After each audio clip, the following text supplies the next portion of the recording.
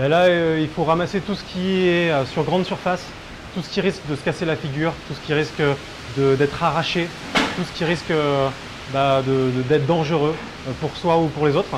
Donc du coup, bah, toutes les tables et les chaises, on ramène tout, on cale ça contre la maison ou on met à l'intérieur si on peut. On ramasse tout ce qui est coussin qui va prendre l'eau, tout ce qui est toile d'ombrage qui risque d'être arraché.